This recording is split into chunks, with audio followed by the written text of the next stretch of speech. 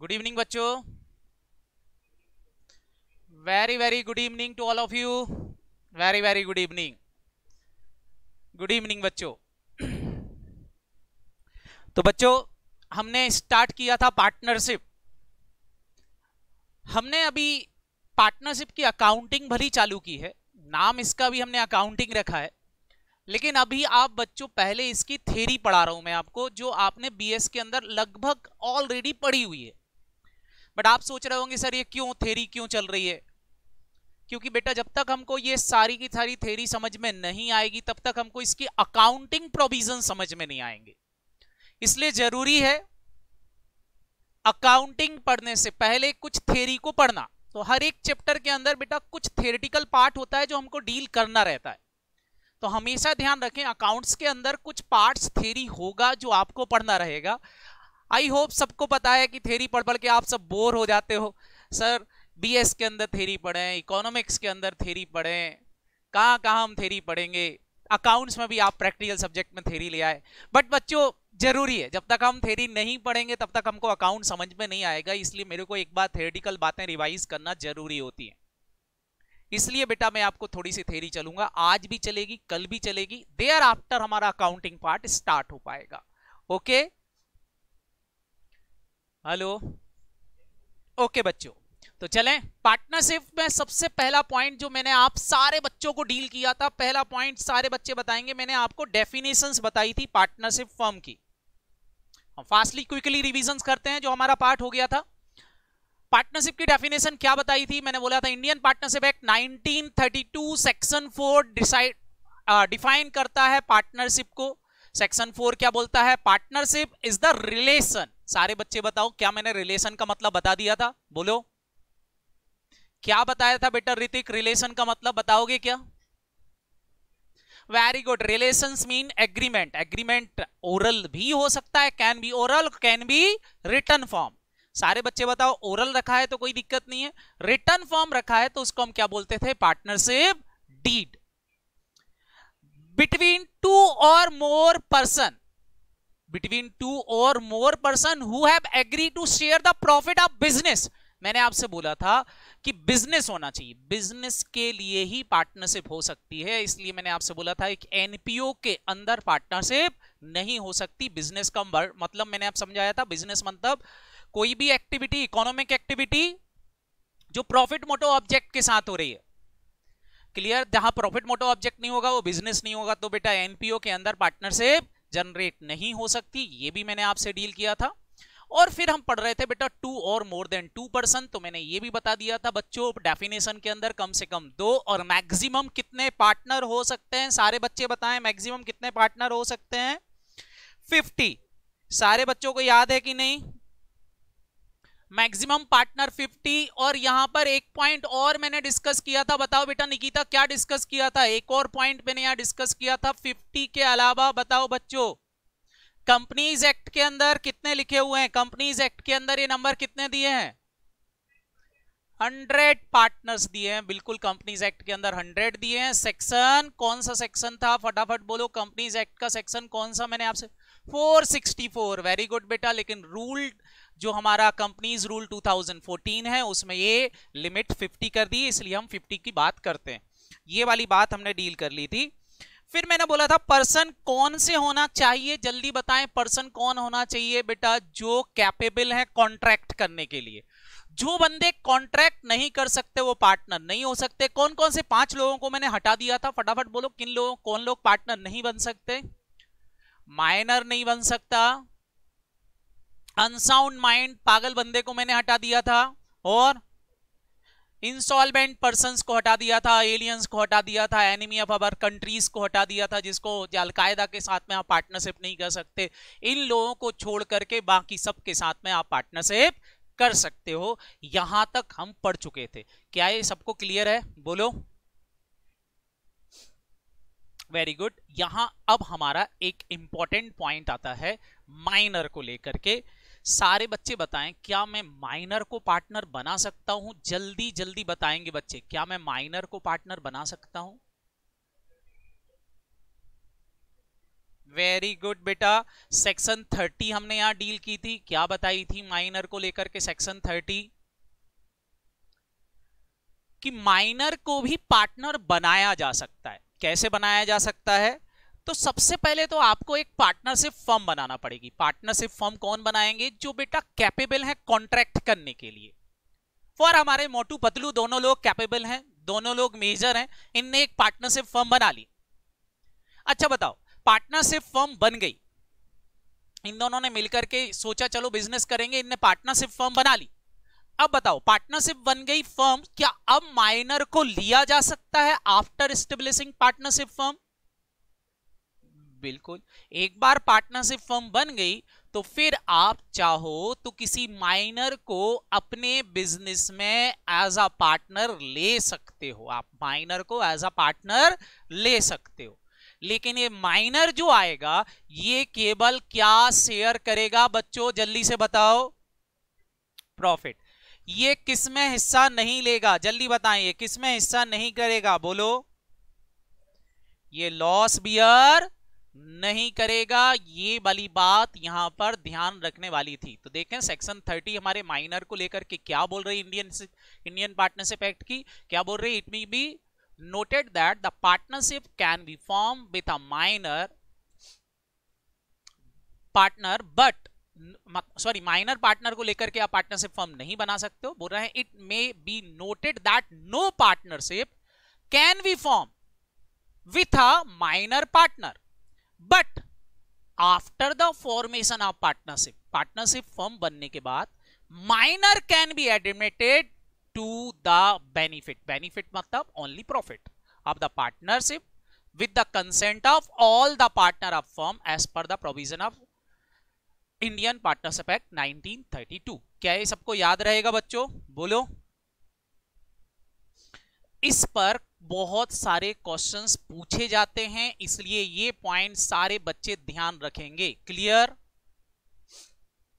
अभी मैं आपके एमसीक्यू क्वेश्चंस निकालूँगा, आपकी बुक के, और वो क्वेश्चंस मैं आपसे पूछूँगा तो ये सारे आंसर्स मेरे को प्रॉपर करेक्टेड चाहिए। क्लियर वेरी गुड तो चलें, आगे बढ़ा जाए बच्चों। तो डेफिनेशन के हम तीन वर्ड्स पढ़ चुके। रिलेशन रिलेशन का मतलब एग्रीमेंट, पर्सन पर्सन कौन से लोग होंगे जो पार्टनर बनाएँगे, और तीसरा बिज़नेस। चौथे वर्ड की बात करते हैं बेटा, sharing of profit. Sharing of profit. Definition में एक वर्ड आया था, शेयरिंग ऑफ़ प्रॉफिट। मतलब अगर कोई बंदा हमारे बिज़नेस में है, लेकिन प्रॉफिट शेयर नहीं कर रहा है तो क्या वो पार्टनर नहीं है? मैंने किसी बंदे को अपने बिज़नेस में बुलाया, बोला, तुम भी मेरे साथ में बिज़नेस चलाओ। बताओ, लेकिन उसको प्रॉफिट में शेयर नहीं दूँगा मैं प्रॉफिट में हिस्सा नहीं दूँगा। तो क्या वो पार्टनर माना जाएगा? नहीं माना जाएगा। बिल्कुल वेरी गुड बेटा। निकिता सिंह नो और बताएँ बेटा, कशिश, कासबी, क्या उसको हम पार्टनर मानेंगे?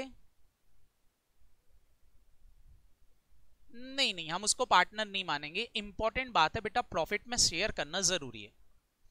प्रॉफिट में हिस्सा मिलना ज़रूरी है उसको। बेटा, अभी हम टाइप्स ऑफ़ पार्टनर के बारे में भी डिस्कशन करेंगे, लेकिन उससे पहले प्रॉफिट में हिस्सा लेना ज़रूरी है शेयर ऑफ़ प्रॉफिट होना ज़रूरी है। सर इसका मतलब लॉस शेयर करना ज़रूरी नहीं है क्या? पार्टनर के बीच में लॉस शेयर नहीं होना चाहिए क्या? इसका मतलब लॉस शेयर नहीं करेंगे पार्टनर क्या? प्रॉफिट ही बांटेंगे बस। तो बेटा डेफिनेशन के अंदर तो केवल प्रॉफिट वर्ड लिखा है। अब प्रॉफिट वर्ड क्यों लिखा है, उसके बारे में हम डिटेल में चर्चा करें। तो पहली इंपॉर्टेंट बात, जो हमारे पार्टनर है, ये हमारे दोनों पार्टनर हैं, ये दोनों पार्टनर प्रॉफिट को शेयर करेंगे। प्रॉफिट को शेयर करेंगे तो ये पार्टनर है। प्रॉफिट वर्ड क्यों लिखा? क्योंकि बेटा, आप बताओ अभी अभी आप एक डेफिनेशन पढ़ के आए सेक्शन थर्टी पढ़ के आए, बताओ, अगर हम माइनर को पार्टनर बना लेते हैं माइनर को पार्टनर बना लेते हैं तो बताओ बेटा, वो तो केवल प्रॉफिट ही शेयर करता है लॉस तो शेयर करता ही नहीं है, बोलो। अगर मैं डेफिनेशन में लिख देता share of profit and loss तो इसका मतलब तो ये हो जाता कि फिर माइनर पार्टनर बन ही नहीं पाता। बात समझ में आ रही कि नहीं? बोलो। इसलिए बेटा डेफिनेशन के अंदर जो वर्ड लिखा गया है there must be sharing a profit profit share करने का एग्रीमेंट होना चाहिए not loss share share loss करने का एग्रीमेंट नहीं होना चाहिए. मतलब प्रॉफिट शेयर करने का एग्रीमेंट हुआ है. Does not necessary means the the agreement to the share of loss. Loss share करने का एग्रीमेंट होना ज़रूरी नहीं है। प्रॉफिट शेयर करने का एग्रीमेंट होना बहुत इंपॉर्टेंट है पार्टनरशिप के लिए।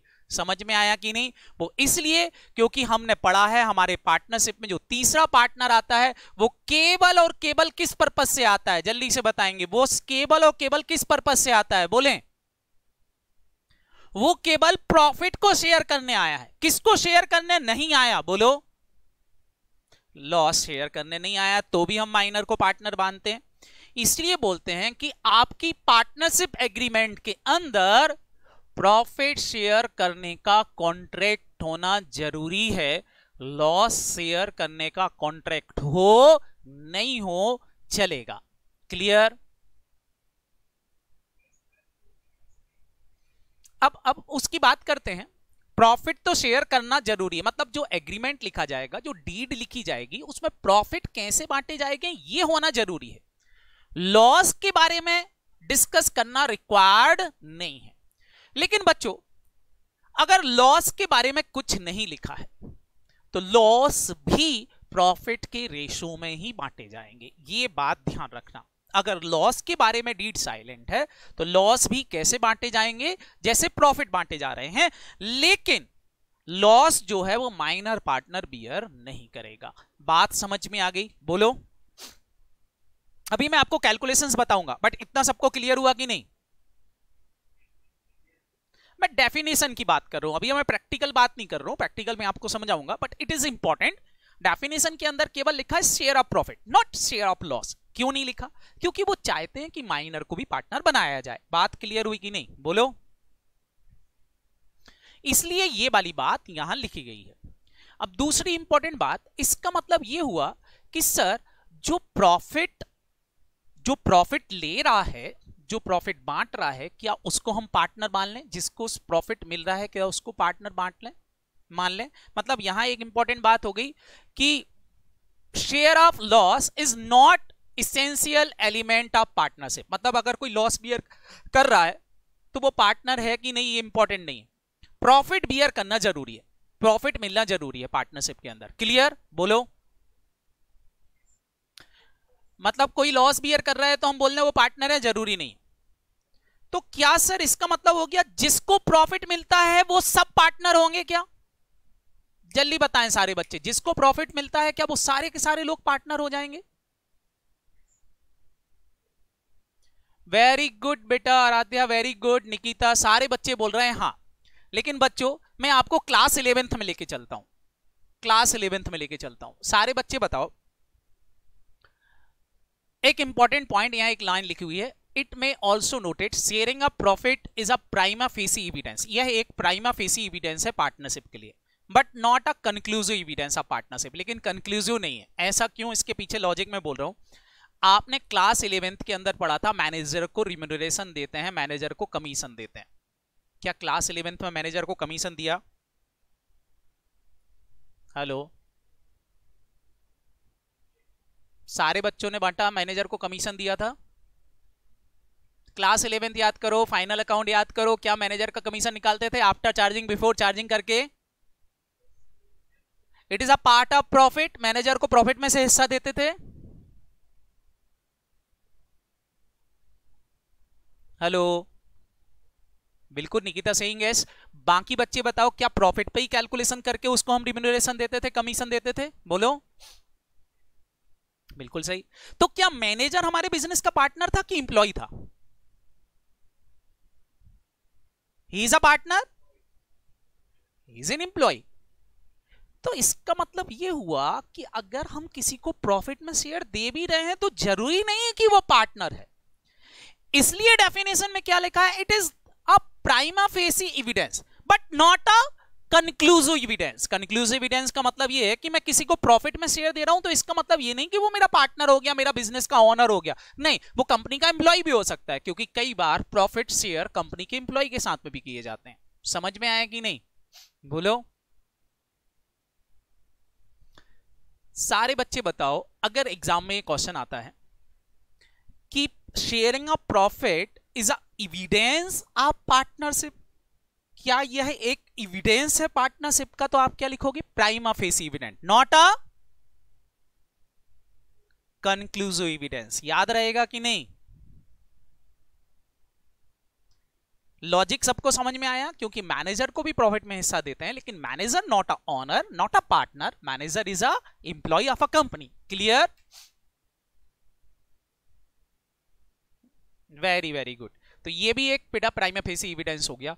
और दूसरी चीज़ लॉस शेयर करने का एग्रीमेंट हो या ना हो, क्या शेयर करने का एग्रीमेंट होना ज़रूरी है? प्रॉफिट सबको याद रहेगा। मतलब अभी हम एग्रीमेंट पढ़ेंगे, लेकिन एग्रीमेंट के अंदर ये सारी बातें हमारी आना चाहिए। तो अब बच्चों बताओ डेफिनेशन के अंदर हम चार वर्ड पढ़ चुके हैं। पहली इंपॉर्टेंट वर्ड जो हमने पढ़ा था रिलेशन रिलेशन मतलब एग्रीमेंट। एग्रीमेंट किसका होना चाहिए? शेयर ऑफ़ प्रॉफिट का। किसके प्रॉफिट? बिज़नेस के प्रॉफिट। किन के बीच में होना चाहिए? पर्सन के बीच में होना चाहिए। और पर्सन कौन नहीं होना चाहिए? सारे बच्चे बताएँ, पर्सन कौन नहीं होना चाहिए? वो पाँच लोग। Clear very good that is your definition एक और वर्ड जो यहाँ आता है that is very very important it is a conclusive evidence मतलब ये अगर है तो पक्का पार्टनरशिप फर्म है.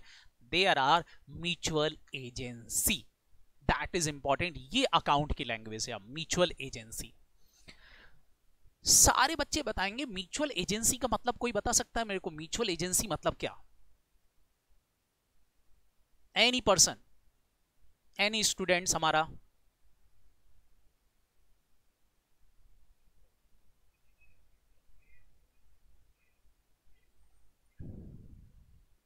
वेरी गुड और अदर पर्सन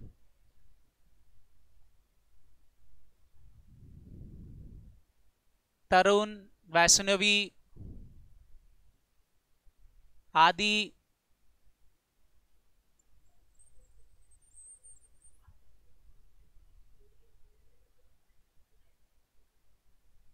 बिल्कुल सही बेटा। इसको आप ऐसे समझ सकते हो। एक एक छोटे से एग्ज़ाम्पल से समझ सकते हैं इसको। एग्ज़ाम्पल क्या है? इट इज़ वेरी इजी ध्यान से समझेंगे। एक छोटा सा एग्ज़ाम्पल ले रहे हैं हम यहाँ पर। बताओ। जैसे आपके किसी से झगड़े हो गए। मान लो आपकी किसी से झगड़े हुए तो बताओ। जब झगड़े हुए तो आपसे लड़ने कोई नहीं आता। किससे लड़ने आता है? आपके पेरेंट्स से लड़ने आते हैं कि नहीं लोग? कि तुम्हारे लड़के बच्चे ने ये कर दिया, तुम्हारे ये, उसने ये कर दिया। बोलो। ऐसा क्यों? जबकि वो तो उस समय वहाँ अवेलेबल भी नहीं होते, उनसे क्यों लड़ते हैं? Agent principal relationship agent principal relationship का मतलब यहाँ पर क्या है बच्चों? कि जो काम मैं कर रहा हूँ, उसके लिए मैं तो लाइबल हूँ ही। साथ ही साथ मेरे अदर पर्सन जो उस समय थे ही नहीं वहाँ, वो भी उसके लिए क्या माने जाएँगे? लाइबल माने जाएँगे। बात समझ में कि नहीं? बोलो। तो एजेंट प्रिंसिपल रिलेशनशिप को हम क्या बोलते हैं बेटा? Mutual agency. मैं इसको थोड़ा सा और इजी वे में समझाऊं। एजेंट प्रिंसिपल रिलेशनशिप, जैसे फॉर एग्जांपल देखो यहाँ पर, मैं आपसे बोल रहा हूँ, ये मेरे तीन पार्टनर है। तीन पार्टनर है। कौन कौन तीन पार्टनर है? Mr X, Mr Y, Mr Z. There are three partner. ये तीन पार्टनर है। Mr X is a partner Mr Y is a partner Mr Z is a partner ये तीन लोग पार्टनर है। मिस्टर एक्स ने क्या किया बच्चों? गुड्स सोल्ड किया। इन मैडम को कोई गुड्स बेचा। और गुड्स जो था बेटा it is a defective goods goods में डिफेक्ट था। डिफेक्टिव गुड्स मैच करके पैसा लेकर के भाई तो हो गया गायब। सारे बच्चे बताओ। अब ये मैडम किससे लड़ने आएगी? आपके बिज़नेस में आएगी फर्म में आएगी? तो ये वाई और जेड बोल रहे हैं, हम तो थे ही नहीं। हमारे सामने थोड़ा ना गुड्स बेचा गया है। मैं तो था ही नहीं उस समय भाई। जिसने बेचा उससे लो। बताओ बेटा, क्या इसके साथ नाइंसाफी नहीं हो जाएगी अगर ऐसा बोल दे तो? बोलो। ये बोल रहे हैं, हम तो थे ही नहीं उस समय दुकान में। मैं तो था ही नहीं उस समय शॉप में भैया। जिसने बेचा था उससे निपटो। अगर ये बोलते हैं तो फिर बेटा बताओ, क्या पार्टनरशिप वाले लोग धोखा दे सकते हैं कि नहीं? क्या ऐसा होना चाहिए? नहीं। तो एक्ट बोलता है पार्टनरशिप के अंदर जितने भी पार्टनर हैं होल आर लाइबल भले ट्रांजेक्शन किसने भी किया हो, किसी ने भी ट्रांजेक्शन क्यों ना किया हो, चाहे एक्स ने किया हो, चाहे वाई ने किया हो, चाहे जेड ने किया हुआ सारे पार्टनर लाइबल माने जाएँगे। इसलिए एक्ट बोलता है पार्टनर्स के बीच में म्यूचुअल एजेंसी होना चाहिए। म्यूचुअल एजेंसी होना चाहिए मतलब एक दूसरे के लिए उतने ही लाइबल हैं जितना वो खुद के लिए लाइबल हैं। मतलब यहाँ पर जो काम कर रहा है देयर आर एजेंट ये एजेंट मान लिया जाएगा और इन दोनों को प्रिंसिपल मान लिया जाएगा। मतलब ऐसा माना जाएगा कि इन दोनों ने बोला था, इसलिए उसने गुड्स बेचा। भले था या नहीं था। क्या ये बात समझ में आई बच्चों? बोलो। तो देयर आर प्रिंसिपल ये दोनों प्रिंसिपल माने जाएँगे। अगर मैं आपसे बोलूँ वाई ने बेटा कोई ट्रांजेक्शन किया है तो Y is a agent and X and Z is a principal clear तो बच्चों, क्या ध्यान रखना है म्यूचुअल एजेंसी के अंदर? जो बंदा वर्क कर रहा है, वो बंदा क्या माना जाएगा? एजेंट और उनके प्रिंसिपल क्या कौन माने जाएँगे? अदर्स पार्टनर समझ में आया? जैसे मैं यहाँ पर इसको समझाऊं कि mutual agency relationship in case of the firm of ABC मैं आपको समझाऊं पार्टनर हैं तीन लोग एबीसी जैसे यहाँ से बोलूँ when A does an act A ने कोई काम किया तो ए कौन हो गया बेटा? एजेंट और उसके प्रिंसिपल कौन हो गए? B and C when B does an act B ने कोई काम किया है तो बी इज़ अ एजेंट और ए और सी क्या हो जाएँगे? प्रिंसिपल सी ने कोई काम किया तो ए और बी क्या बन जाएँगे? प्रिंसिपल बन जाएँगे। क्या ये समझ में आया? बोलो। मतलब अगर बेटा कोर्ट केस होता है तो कोर्ट केस अकेले ए पर नहीं चलेगा। किस पर भी चलेगा? बोलो। बी पार्टनरशिप के हर काम के लिए बी और सी भी उतने ही एग्री एग्री मान, बी और सी उतने ही लाइबल माने जाएँगे, जितना कि ए लाइबल है, जिसने जो काम किया है। क्लियर लेकिन केवल कौन से काम के लिए? ये भी ध्यान रखेंगे सारे बच्चे, केवल कौन से काम के लिए?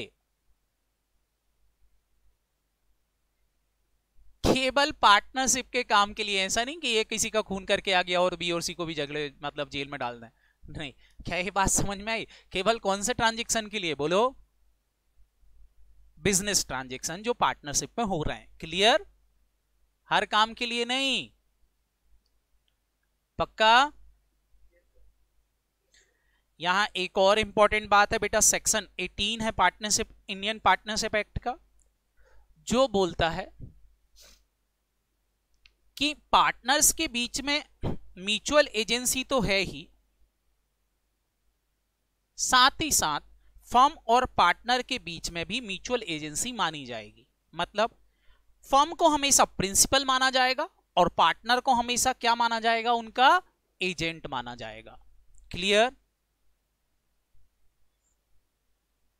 समझ में आया बच्चों? ओके तो यहाँ पर म्यूचुअल एजेंसी रिलेशनशिप किस किस के बीच में रहेगी? पार्टनर के बीच में तो रहेगी रहेगी। सारे बच्चे बताएँ, और किसके बीच में रहेगी? फर्म के बीच में भी रहेगी। क्लियर? हेलो? तो म्यूचुअल एजेंसी का मतलब सबको क्लियर है कि नहीं? अब मेरा एक क्वेश्चन है छोटा सा। बताओ किससे पूछूँ? म्यूचुअल एजेंसी रिलेटेड मैं एक क्वेश्चन पूछना चाहता हूँ।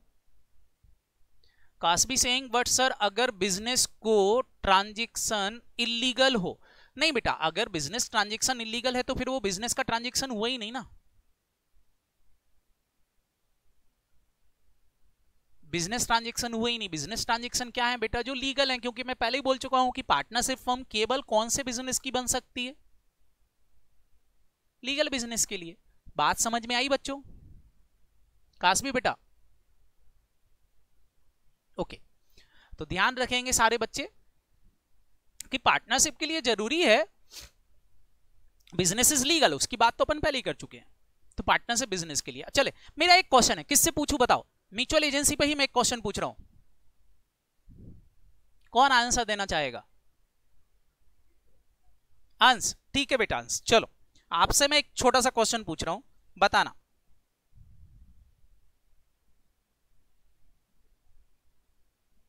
देखे। An agreement between X and Y X और वाई के बीच में एग्रीमेंट हुआ to share the rental income कि वो रेंटल इनकम को शेयर करेंगे। Of a joint property own by X and by उनने एक ज्वाइंट प्रॉपर्टी खरीदी थी, दोनों के नाम से एक ज्वाइंट प्रॉपर्टी खरीदी थी एक्स और वाई के नाम से, और उन्होंने बोला उनके बीच में एग्रीमेंट हो गया कि वो क्या करेंगे, अपने प्रॉफिट को शेयर करेंगे। इज़ इट पार्टनरशिप क्या यह एक पार्टनरशिप है?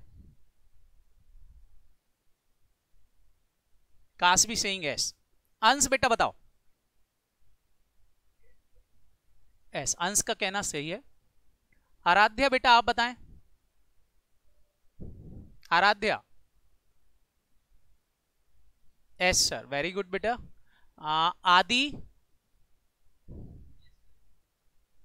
पार्टनरशिप है।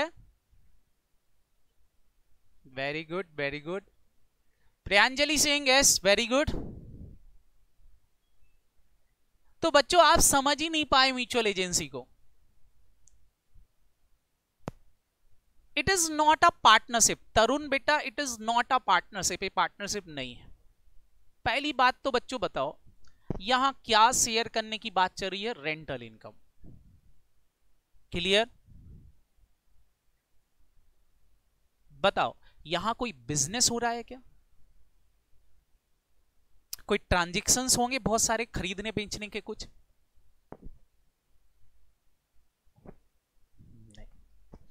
तो जब कोई काम ही नहीं हो रहा है यहाँ, खाली एग्रीमेंट हुआ है कि भैया ये प्रॉपर्टी हम रेंट पे दे रहे हैं, जो इनकम आएगी रेंटल इनकम आपस में बांट लेंगे, काम खत्म। तो बच्चों बताओ, यहाँ कोई बिज़नेस ही नहीं है, कोई म्यूचुअल एजेंसी नहीं है, जब एक्स और वाई को कोई काम ही नहीं करना है। जब एक्स और वाई को कोई काम नहीं करना है तो इनके बीच में क्या नहीं है? फटाफट बोलो। Mutual agency is not available और जब म्यूचुअल एजेंसी नहीं है तो बताओ बेटा, ये क्या पार्टनरशिप कहलाएगी? पार्टनरशिप होने के लिए बेटा इसेंशियल कैरेक्टरिस्टिक है कि म्यूचुअल एजेंसी होना चाहिए। मतलब एक दूसरे के वर्क के लिए दोनों लाइबल होना चाहिए। एग्रीमेंट ऐसा होना चाहिए। यहाँ बोल रहा है रेंटल इनकम बांटेंगे, काम खत्म, बाकी कोई एग्रीमेंट ही नहीं इनका। तो it is not a partnership समझ में आया? बस काम खत्म।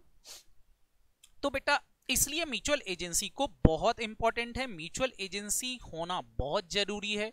म्यूचुअल एजेंसी ही ट्रू टेस्ट होता है पार्टनरशिप के बिज़नेस का, कि पार्टनरशिप है या नहीं है। Clear hello very good last एक और चीज़ पार्टनरशिप की डेफिनेशन में नहीं है, लेकिन सारे बच्चे एक और आइटम पढ़ेंगे। लास्ट पॉइंट डेफिनेशन का अनलिमिटेड लाइबिलिटी पार्टनर्स की लाइबिलिटी अनलिमिटेड होना चाहिए। पार्टनर्स की लाइबिलिटी कैसी होना चाहिए? अनलिमिटेड होती है। अब इस अनलिमिटेड पर बेटा हमारे अकाउंट के अंदर बहुत सारे क्वेश्चंस भी बनेंगे। इसलिए ये पॉइंट समझना बहुत ज़रूरी सर अनलिमिटेड लाइबिलिटी का मतलब? अनलिमिटेड लाइबिलिटी का मतलब समझाने के लिए मैं एक एग्ज़ाम्पल ले रहा हूँ नॉर्मल आप सब सारे बच्चे मेरे को आंसर देना। बेटा, मेरे को एक कार खरीदना थी। इस कार को खरीदने के लिए मैंने बैंक से लोन लिया। और लोन लेकर के मैं कार खरीद रहा हूँ। बैंक से बोल रहा हूँ, मेरी कार पर मेरे को लोन दे दो। और बैंक ने मेरे को पैसे दिए, मैंने उससे कार खरीद ली। अब मेरा क्वेश्चन ये है, सारे बच्चे बताओ, जब मैं कार खरीदूँगा तो मेरे नाम से कार रहेगी कि बैंक के नाम से कार रहेगी? ऑनर कौन रहेगा? बैंक क्यों? बैंक क्यों रहेगा? बैंक पैसा दे रही है। बैंक पैसा दे रही है तो बैंक अपने नाम से कार लेगा। कब तक बैंक के नाम पर एक कार चढ़ी रहेगी? सारे बच्चे बताएँ। जब तक मेरी इंस्टॉलमेंट मैं पेमेंट नहीं कर देता। क्या ये बात सबको पता है? बोलो। तो अल्टीमेटली ऑनर कौन है बैंक बैंक ने ऐसा क्यों किया? क्योंकि कल को अगर मैं पेमेंट नहीं करूँ तो बैंक कार ले जाएगा और कार बेच के अपना लोन चुका लेगा। बोलो। तो ultimately owner of a bank bank इस कार का ऑनर है। इतना सबको समझ में आया? अब हुआ ये, मैं कार चला रहा था। कार चलाते चलाते कार जो है मैंने ठोक दी और कार में क्या लग गई? आग लग गई। क्या ये क्लियर है? बोलो। अब मेरा क्वेश्चन सुनेंगे आगे। कार में आग लग गई बच्चों। बताओ। अब मैं बैंक से बोलूँ, ले जाओ कार, पैसा तो मैं नहीं चुकाऊँगा। तो क्या मेरे को पैसा नहीं चुकाना पड़ेगा? क्यों ऑनर बैंक था, वो जाने, उसकी कार जाने, मैं बोलूँगा, जल गई, ले जाओ। कि मेरे को लोन चुकाना पड़ेगा।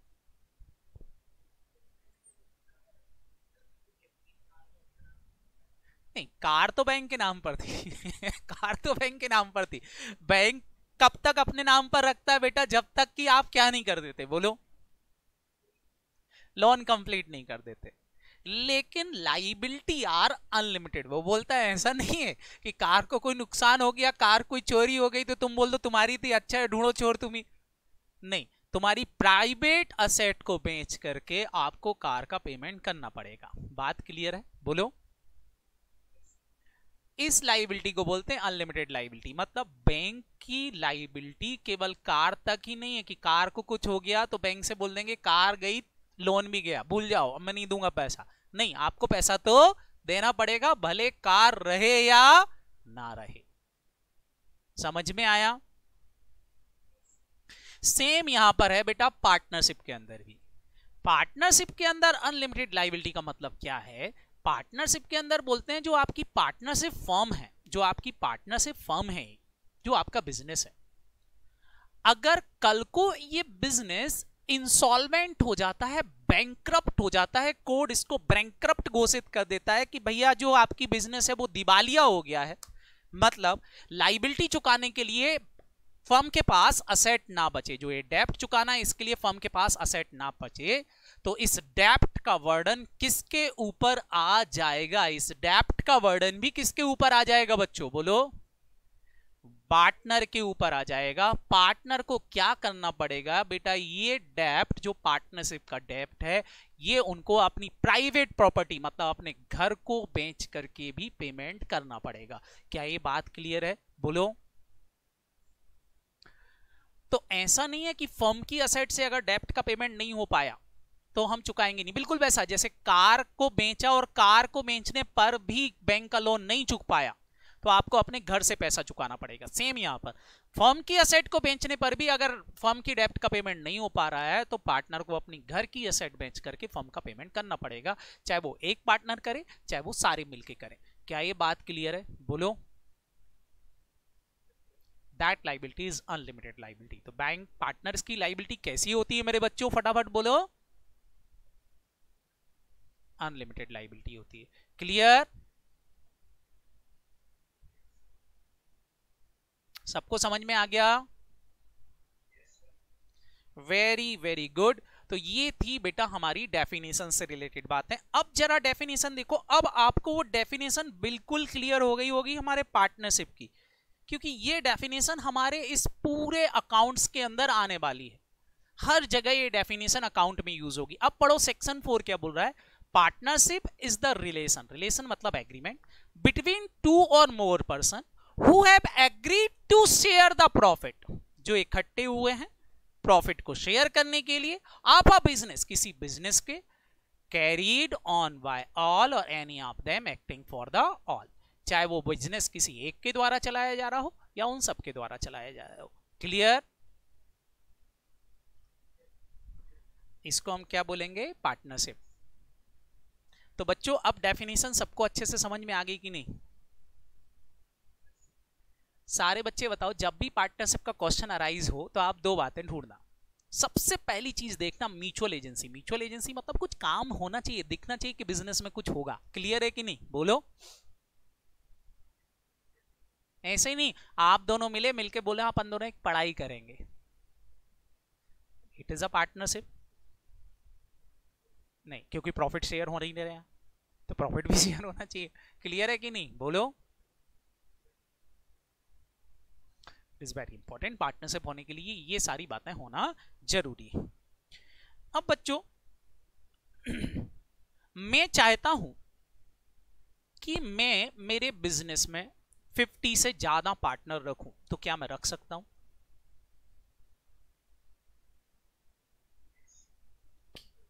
सेंट्रल गवर्नमेंट की बेटा मैं हंड्रेड से ज़्यादा चाहता हूँ, हंड्रेड से ज़्यादा पार्टनरशिप में मैं अपने पार्टनर रखूँ तो? नहीं। आपको क्या बनाना पड़ेगी अगर हंड्रेड से ज़्यादा रखना चाहते हो तो? कंपनी पे जाना पड़ेगा कॉरपोरेशन पे जाना पड़ेगा। ये बात सबको याद है। बोलो। अच्छा मैं चाहता हूँ पार्टनरशिप का बिज़नेस जो मेरे ऊपर लाइबिलिटी है पार्टनरशिप की, वो लिमिटेड रहे। लिमिटेड रहे मतलब? मतलब जितना नुक्स, जितना असेट्स हैं फर्म की, बस उतना ही मेरे घर की असेट नहीं बिकना चाहिए।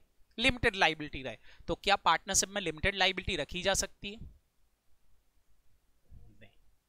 लेकिन कंपनी और पार्टनरशिप के बिज़नेस के बीच में एक और तरह की चीज़ होती है, एक और तरह का बिज़नेस होता है, जिसको बोला जाता है बेटा L L P, limited liability partnership. क्या बोला जाता है? फटाफट बोलो। लिमिटेड लाइबिलिटी पार्टनरशिप एक बीच का रास्ता। मतलब मेरी पार्टनरशिप भी बन जाए और मेरे को कंपनी भी नहीं बनाना है। और मैं चाहता हूँ बिज़नेस में सौ से ज़्यादा लोग पार्टनर रखूँ। मैं चाहता हूँ मेरी लाइबिलिटी लिमिटेड भी हो जाए। मेरे को कंपनी नहीं बनाना लेकिन मेरे को पार्टनरशिप फर्म भी नहीं बनाना। तो बीच का रास्ता एक्ट ने बताया, आप एक काम करो एलएलपी बना लो। क्या बना लो बच्चों? एलएलपी तो इसका मतलब यह हुआ कि पार्टनरशिप फर्म जो होती ना बेटा, वो दो तरह की होती एक होती ऑर्डनरी पार्टनरशिप ऑर्डनरी पार्टनरशिप जो अभी हम पढ़ के आए इंडियन पार्टनरशिप एक्ट 1932 के हिसाब से, लेकिन एक होती LLP limited liability partnership firm limited liability partnership firm is a एक लीगल फर्म जिसके अंदर आप कितने भी पार्टनर रखो, आपकी लाइबिलिटी लिमिटेड रहेगी। आपको कंपनी बनाने की ज़रूरत नहीं है। मतलब एक बीच का रास्ता। ना कंपनी ना ऑर्डनरी पार्टनरशिप हम बीच में एक बिज़नेस कर रहे हैं, जिसको बोलते हैं एलएलपी आजकल बेटा, ये ज़्यादा बन रही हैं बजाय की कंपनी के। बात समझ में आई? बोलो। तो बेटा partnership form are two types एक हो गई बेटा ऑर्डनरी पार्टनरशिप दूसरी क्या हो गई? Limited liability partnership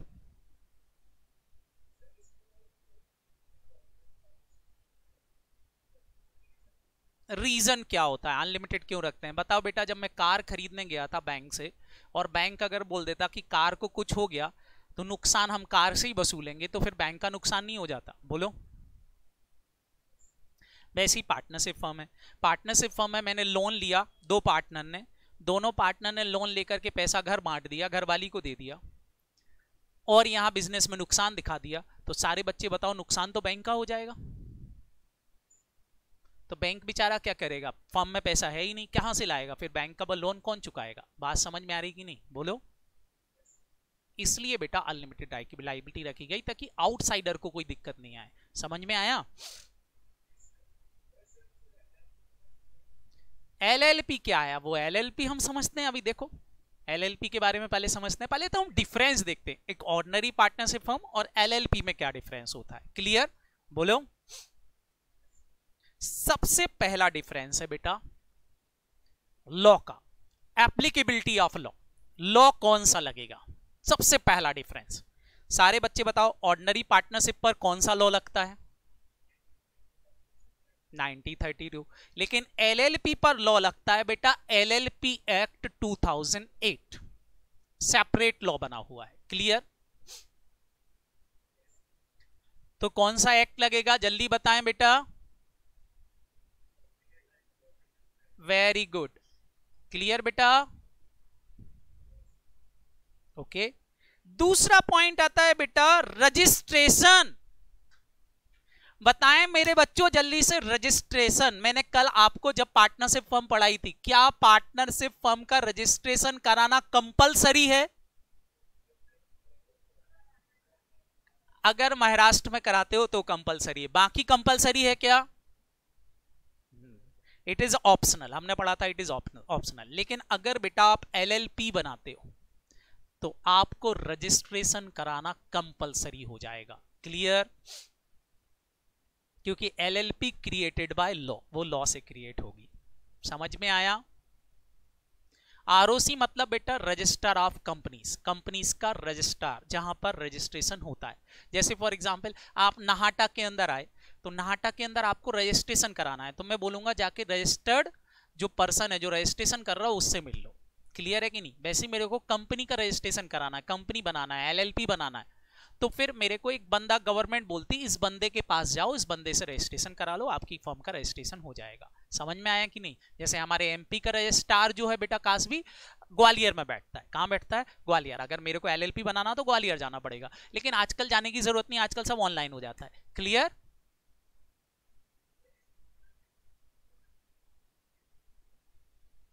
register of company बंदा है बेटा, वो एलएलपी का भी कर रजिस्ट्रेशन कर देता है, वो कंपनीज़ का भी रजिस्ट्रेशन करता है अलग अलग बंदे नहीं रखे हुए हैं, ठीक है?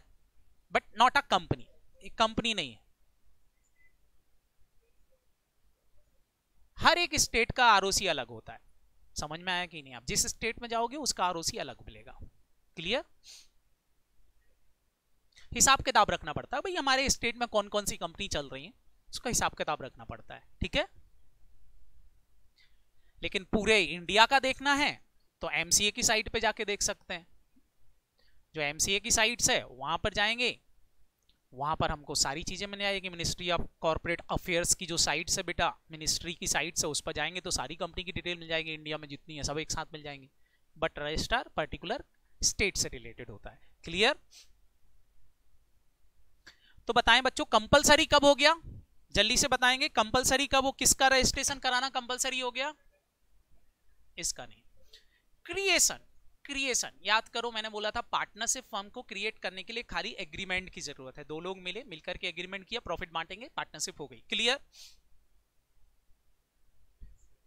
लेकिन यहाँ एलएलपी का क्रिएशन लॉ से होगा। मतलब जब तक आरओसी आपका रजिस्ट्रेशन नहीं करेगा, तब तक आप एलएलपी नहीं बना सकते। क्लियर तो it is created by law ये लॉ से क्रिएट होती है जबकि ये क्रिएट होती है एग्रीमेंट से। Separate legal entity separate legal entity body corporate क्या पार्टनरशिप फर्म जो है सेपरेट लीगल एंटिटी है? लीगल एंटिटी का मतलब समझना यहाँ पर। लीगल एंटिटी मतलब बेटा, जैसे फॉर एग्ज़ाम्पल मान लो मैं पार्टनरशिप फॉर्म बनाई। नाम रखा X by partnership form clear bank के पास गया। बैंक से लोन लिया पाँच लाख का। किस नाम से? एक्स वाई पार्टनरशिप फर्म के नाम से। और हम दोनों ने पैसा लिया और भाग गए। मैनेजर जो आएगा, क्या वो फर्म से पैसा मांगेगा?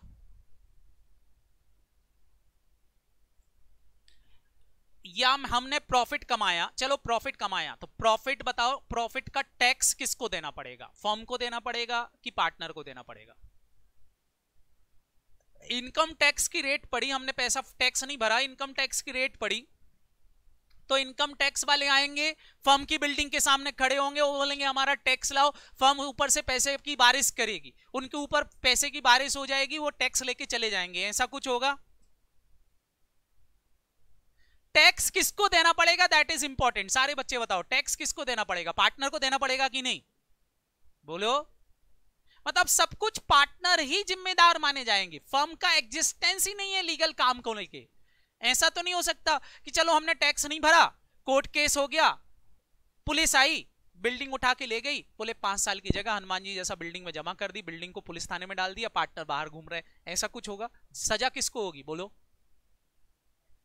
पार्टनर तो पार्टनर जो होते हैं बेटा वही लीगली माने जाते हैं हर चीज़ के लिए। फर्म का कोई लीगल एग्जिस्टेंस नहीं लेकिन एलएलपी के केस में, एलएलपी के केस में टैक्स एक्स किसके नाम से जाएगा? बताओ बेटा, टैक्स वगैरह सब किसके नाम से जाएगा? फर्म के नाम से जाएगा, एलएलपी के नाम से जाएगा। क्लियर? ध्यान रखना, कंपनी की बात नहीं कर रहा हूँ मैं। एलएलपी की बात कर रहा हूँ। कंपनी तो हमारा थर्ड पार्ट है, हम अलग से पढ़ेंगे। समझ में आया? बोलो। एलएलपी। सारे बच्चे बताओ, यहाँ, अब यहाँ अकाउंट वाली बात करते हैं। Income tax paid it is a business expenditure या it is a personal expenditure यहाँ यहाँ पर पार्टनरशिप फर्म है income tax paid is a business expenditure it is a personal expenditure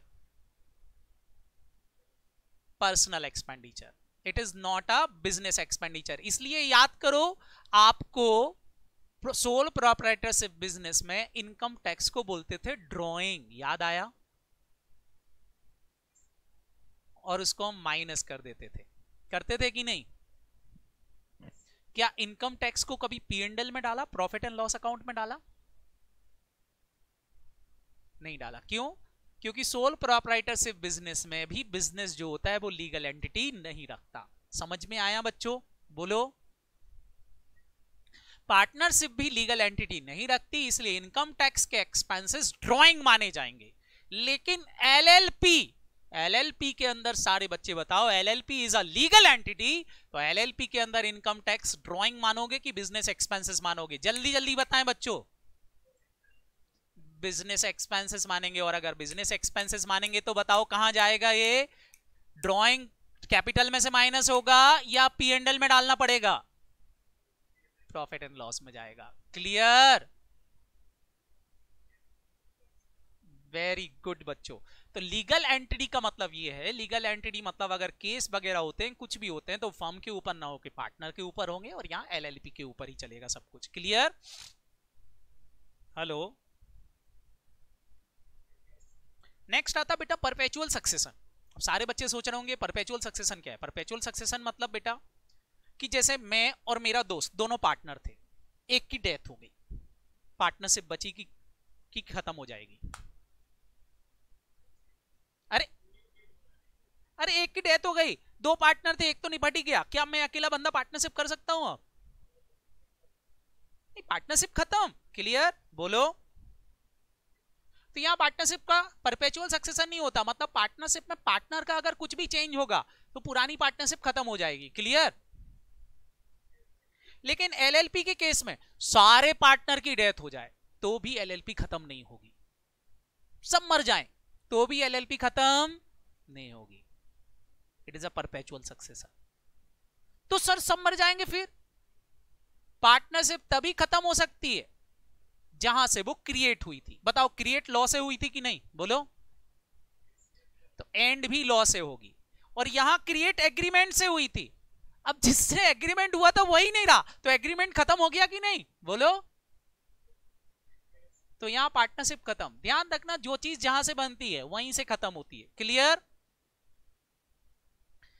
इसको बोलते परपेचुअल सक्सेशन परपेचुअल सक्सेशन मतलब जब तक लॉ खत्म नहीं करेगा, तब तक पार्टनरशिप एलएलपी खत्म नहीं होगी। लेकिन यहाँ पार्टनर की डेथ हुई पार्टनरशिप भी खत्म। क्लियर बच्चों? डिफरेंसेस देखना। मैं आपको ये पीडीएफ भेज दूँगा, चिंता मत करो। नेक्स्ट नंबर ऑफ़ पार्टनर बताओ। नंबर ऑफ़ पार्टनर 50 लेकिन एलएलपी के अंदर मिनिमम टू मैक्सिमम अनलिमिटेड जितने रखना उतने रख लो।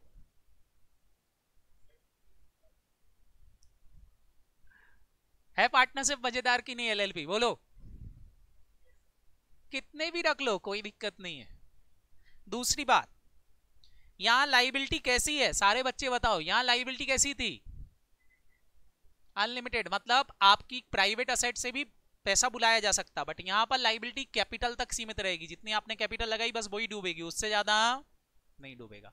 मतलब प्राइवेट असेट आपकी सेल आउट नहीं करा सकते। किसके अंदर? फटाफट बोलो। एलएलपी के अंदर।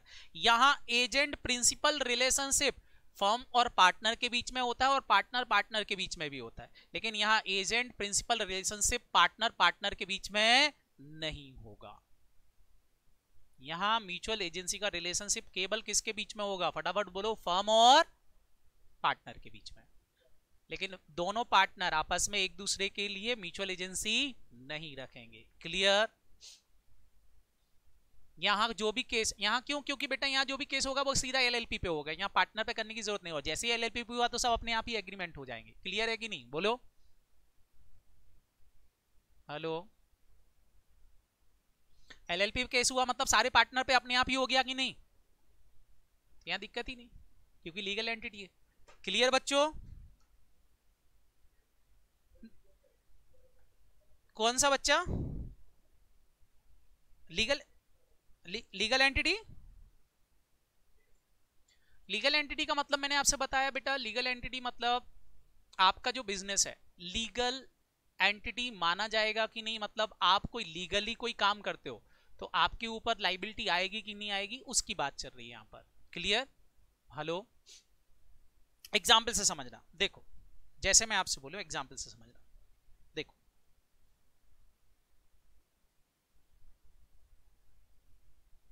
रहा लीगल एंटिटी देखो। बेटा ये मेरी पार्टनरशिप फॉर्म दो पार्टनर ने मिलकर के पार्टनरशिप फॉर्म बनाई। क्लियर हेलो कैपिटल लगाया, पैसा लग गया। अब हुआ ये,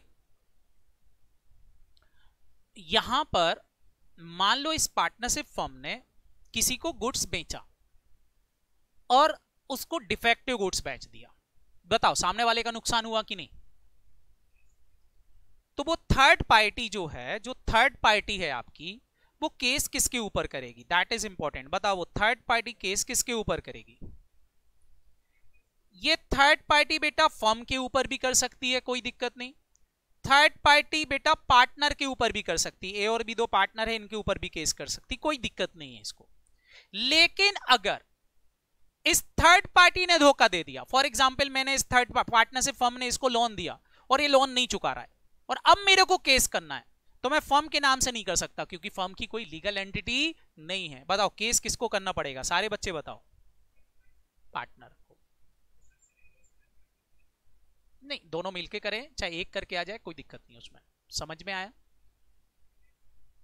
इसको बोलते लीगल एंटिटी। लीगल एंटिटी मतलब जो, जिसका नाम से बेटा लीगली काम किया जा सकता है। क्लियर? चल तो ये था बेटा हमारा आज का लेक्चर। सारे बच्चे बताएँ, इतना सबको क्लियर हुआ?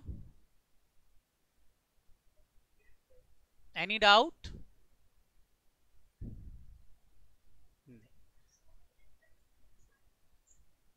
बिल्कुल बेटा डिफरेंस वाला चार्ट मैं आपको पीडीएफ कर रहा हूँ। आपके ग्रुप पर डाल रहा हूँ, आपके मोबाइल पर भेज रहा हूँ। आप आराम से उसको देखकर पढ़ें। क्लियर ये हैंड रिटर्न नोट तो मैं आपको भेज ही रहा हूँ, इसमें कोई प्रॉब्लम नहीं बेटा, आपके नोट्स आ जाएँगे आपके पास अभी, ठीक है? आपको फ़ोटो लेने की ज़रूरत नहीं है, मैं आपको भेज रहा हूँ, ठीक है?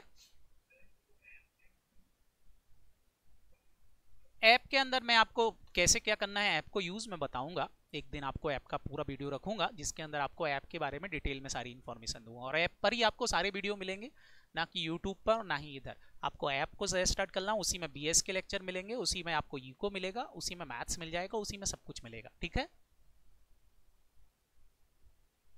तो चिंता करने की ज़रूरत नहीं। जी बेटा, कास कासिस।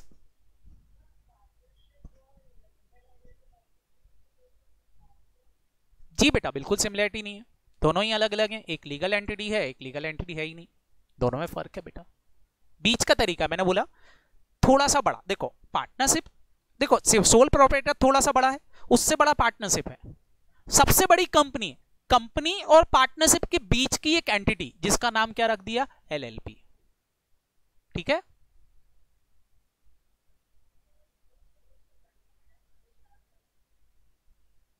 आप आ, आपके पास कौन सी है बेटा? स्कूल में जनरली टीएस चलती है आपकी।